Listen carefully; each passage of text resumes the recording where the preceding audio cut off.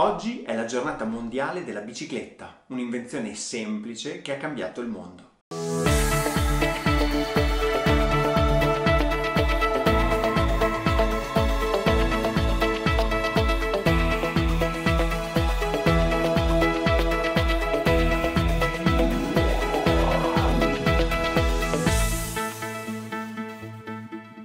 Storia della bicicletta è molto più lunga di quel che normalmente non si creda, perché già nel Settecento esisteva il celerifero, che pur non avendo freni, sterzo o pedali, ebbe il merito di mostrare al mondo come un essere umano potesse stare in equilibrio, anche solo su due ruote. Nel corso dell'Ottocento nacque il biciclo, un celerifero che aveva i pedali, pedali che però erano collegati direttamente alla ruota anteriore, che per questo era di dimensioni notevoli, anche un metro e mezzo, cosa che relegò questo mezzo a un numero ristretto di equilibristi che rischiavano rovinose cadute. Fu l'idea di inserire una trasmissione a catena nel 1884 e quattro anni più tardi l'introduzione dei pneumatici ad aria da parte di Dunlop che crearono una vera e propria rivoluzione.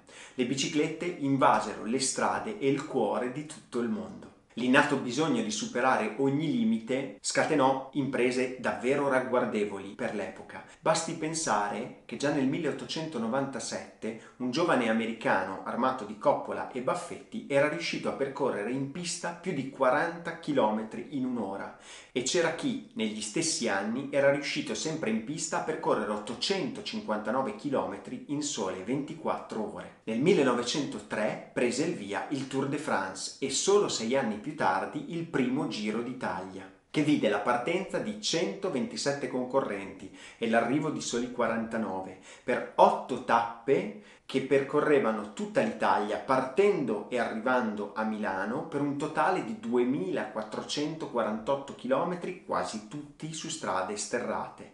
La prima tappa, una comodissima Milano-Bologna, contava 397 km e fu vinta in 14 ore e 6 minuti dal 22enne romano Dario Beni, che pur di partecipare al Giro era andato qualche giorno prima della partenza da casa sua a Roma fino a Milano neanche a dirlo, in bicicletta.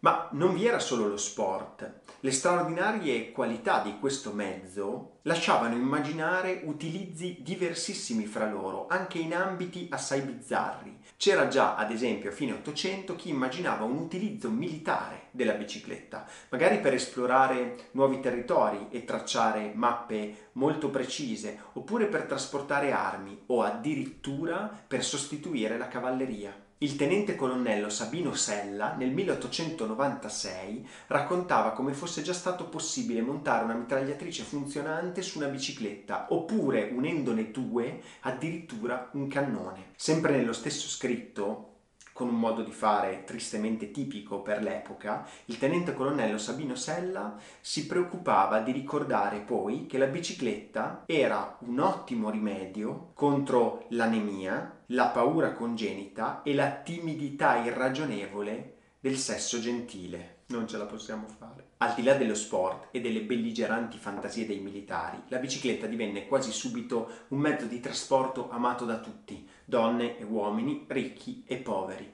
non soltanto legato al lavoro. Fu chiaro a molti che la bicicletta era uno strumento preziosissimo per viaggiare, per scoprire il mondo, per esplorare e per divertirsi. Tanto è vero che già nel 1894, nella città della bicicletta per eccellenza, cioè Milano, fu fondato il Touring Club Ciclistico Italiano, che nel 1937 arrivò a contare quasi mezzo milione di iscritti e promosse valori di straordinaria attualità.